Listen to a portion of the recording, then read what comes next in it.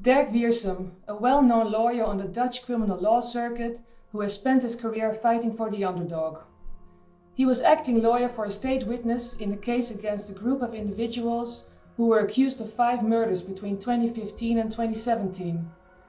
Two of the accused are thought to be part of a drug ring that controls one-third of the cocaine trade in Europe.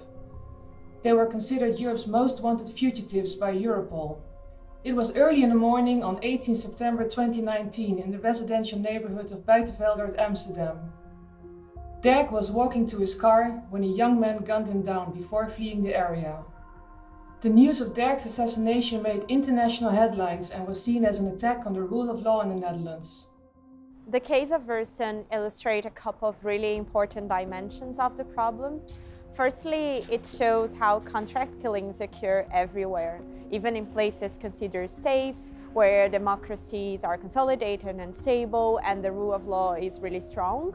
Um, secondly, it also shows how assassinations can really transcend national boundaries and be coordinated by syndicates, sometimes operating outside national borders.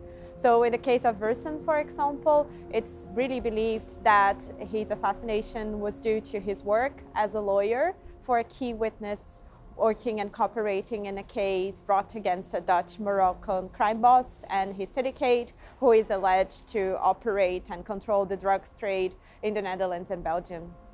It was after the death of Derek that an icon of Dutch journalism got involved in the case, Peter R. de Vries.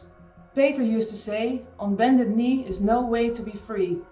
He had it tattooed on his leg, as someone who spent his working life fighting injustice and not want to shy away from a confrontation, it was for these reasons that Peter stepped into his investigation.